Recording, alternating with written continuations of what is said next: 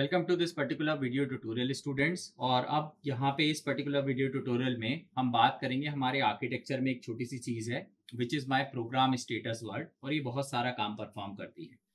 तो programme status word को आप कंपेयर कर सकते हैं 8086 के फ्लैग रजिस्टर से, क्योंकि यहाँ पर भी बहुत सारे फ्लैग्स आपको दिखाई देने को मिलेंगे, ठीक? तो एक एक करके हम इन फ्लैग्स के बारे में डिस्कशन कर लेते हैं। जैसा कि आप यहाँ पे इस डायग्राम में देख सकते हैं कि हमारा जो फ्लैग रजिस्टर है वो एक आठ बिट का रजिस्टर है from position number seven to position number zero और इसके अंदर टोटल जो फ्लैग्स है वो आपको यहाँ पे दिखाई दे रहे हैं। अब हर एक बिट पोजीशन का क्या मतलब है वो मैं अपन समझ लेते हैं। सो so, पहला वाला जो है वो है आपका सी वाई और सी वाई सिंपल सा है। C Y stand for your carry flag तो जब भी आप एक arithmetic and logical operation perform करेंगे और उस अर्थमेटिक एंड लॉजिकल ऑपरेशन से अगर एक कैरी जनरेट होती है from position T seven D seven माने जो मोस्ट सिग्निफिकेंट बिट है आपकी, वहाँ से अगर एक कैरी जनरेट होती है तो आपका जो कैरी फ्लैग है वो सेट हो जाता है। यहाँ पे मैं आपको याद दिलाना चाहता हूँ कि आपका जो 8051 माइक्रो कंट्रोलर है, ये एक आठ बिट का माइक्रो कंट्रोलर है। तो कैरी कब जनरेट हो रही है? डी सेवन वाली पोजीशन से जब बाहर की तरफ़ कैरी जाएगी, तब कैरी फ्लैग आपका सेट हो जाएगा। 8086 जो है वो 16 बिट का माइक्रो कंट्रोलर माइक्रो प्रोसेसर होता है, जहाँ पर आप D15 वाली बिट या D7 दोनों ही जगह से जब कैरी जनरेट होती है डिपेंडिंग अपॉन कि आप ऑपरेशन 16 बिट का कर रहे हैं या 8 बिट का कर रहे हैं।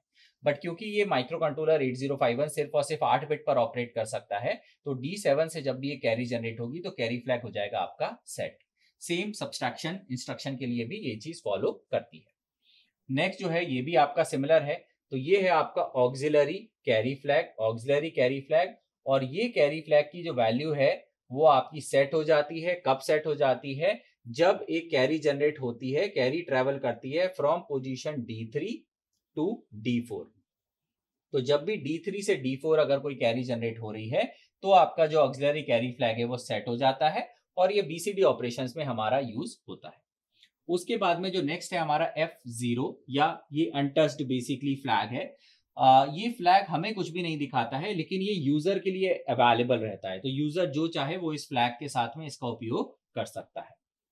इसके बाद में जो दो मेरे पास में बिट्स हैं R S one and R S zero ये आर एस जो है इसका फुल फॉर्म होता है रजिस्टर बैंक सिलेक्शन तो मैं यहाँ पे लिख देता हूँ रजिस्टर बैंक एंड सिलेक्शन तो आपका जो 8051 माइक्रो कंट्रोलर है, आगे जाके आपको समझ में आएगा कि इसमें जो है वो चार रजिस्टर्स बैंक होते हैं और चार रजिस्टर बैंक जो हैं, वो आप कौन कौन से होते हैं? तो पहला आपका होता है bank zero, sorry I should be writing B A N K फिर उसके बाद में आपके पास में है बैंक वन, फिर आपके पास में है बैंक टू, और फिर उसके बाद में है, आपके पास में है बैंक थ्री।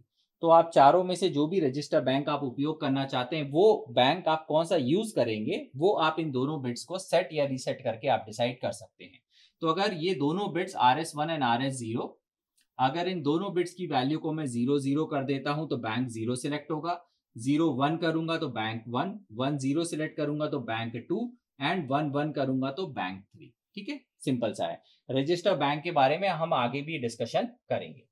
इसके बाद में हमारे पास में OV which stand for overflow overflow तो जब भी आप एक साइंड नंबर के साथ में ऑपरेशन परफॉर्म कर रहे हैं, और उस साइन नंबर का ऑपरेशन जो है, वो साइन बिट को ही खराब कर देता है, उस पर कुछ इंफॉर्मेशन चली जाती है मोस्ट सिग्निफिकेंट बिट पे कोई डेटा बिट ट्रेवल कर जाती है तो आपकी जो साइन इंफॉर्मेशन है, वो प्रोसेसर लूज कर देता है, और उस कंडीशन में हमारा जो ओवरफ्लो फ्लैग है, वो सेट हो जाता है। ठीक है? So the result of sign number operation is too large causing the higher order bit to overflow and it goes inside my sign bit और इसकी वजह से आपका जो है वो ओवरफ्लो हो जाएगा। ठीक? सिंपल सा है। लास्ट वाला जो है P is it stand for parity तो ये वाली बिट जो है वो मेरे को बताएगी कि कब मेरे को इवन पैरिटी आ रही है, यानी आपने एक arithmetic and logical operation perform किया और उस अर्थमेटिक एंड लॉजिकल ऑपरेशन पर आपका जो रिज़ल्ट आ रहा है वो इवन पैरिटी है या ऑड पैरिटी है, वो इंफॉर्मेशन आपको यहाँ से पैरिटी फ्लैग से मिल जाएगी। ठीक है? तो ये हमारा हो गया है program status word of my eight zero five one microcontroller. अब आगे जब हम अगले वीडियो ट्यूटोरियल में मिलेंगे तो वहाँ पे हम बात करेंगे रजिस्टर बैंक की और साथ में हम बात करेंगे स्टैक मेमोरी की। तो वहाँ मिलते हैं। See you there thank you so much have a great day head